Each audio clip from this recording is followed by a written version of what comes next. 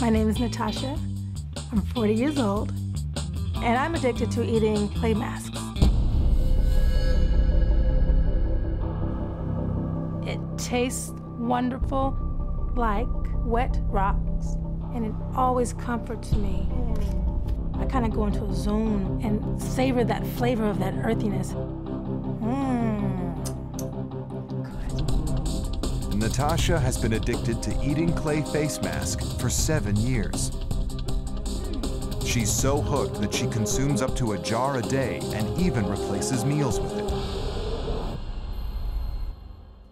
The clay mask that I eat starts off in a very fine powder. Sort of like when you get sand in your mouth. When she first mentioned it to me, I thought it was a, a joke at first. Like, I mean, come on now, you eat what?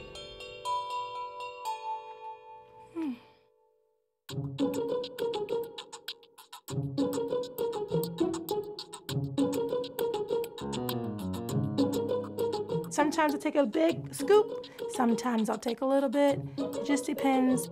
But Natasha doesn't just eat the face mask straight out of the jar.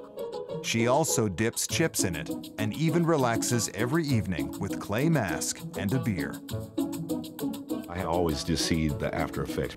You know, the lips are covered and she does the thing with her tongue when she licks it off. What is all this?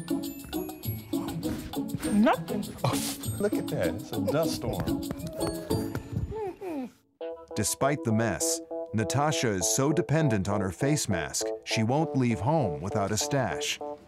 If I'm leaving, I'll take a jar. I couldn't drive without it. I have taken jar to work. They just shake their head and just make me feel so strange. Natasha turned to clay face masks seven years ago to satisfy a taste for rocks.